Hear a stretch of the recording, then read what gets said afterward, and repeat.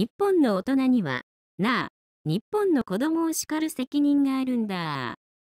おとといなんだけど、10時頃近所の駐車場で、塾帰り風の中学生がヤンキー高校生に絡まれてた。3、4人だったんで、助けてあげたいと思いながら迷っていたら、隣の奥さんがつかつかと歩いてきて、あなたたちやめなさい、と言った。俺は、恥ずかしながら奥さんをかばいつつ、中学生を逃がすにはどうしたらいいのか、頭の中でぐるぐる考えて、ちょっと固まってしまった。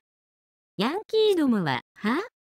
とか、なんだこのババアとかなんとか言って凄んでいた。ヤンキー、映画、関係ねえんだよクソが。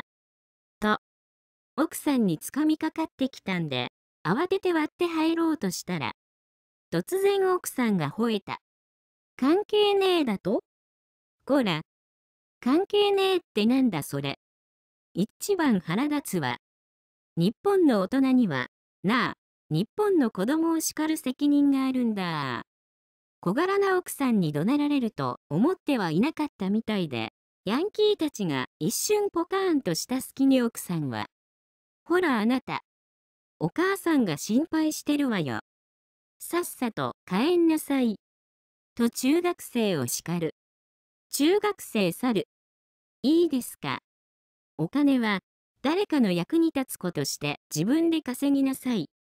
なぜか奥さんは泣いている。ヤンキー、ポカーン。俺もポカーン。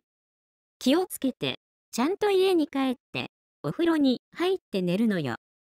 と、言い残して、奥さんは帰っていった。昨日の夕方うちの前で奥さんに会ったら、ガッと、俺の方に駆け寄ってきて、昨夜、かっちゃん、俺の名前、いたよね？と言うので、なんかタイミング逃しちゃってすみませんと謝ったら、やっぱり夢じゃなかったんだーと頭を抱えていた。なんか酔っ払ってたらしいです。女の人があんまり無茶するのもどうかと思うけど、思わず構成しそうな叱り方だったすよ。奥さん、グッジョブ。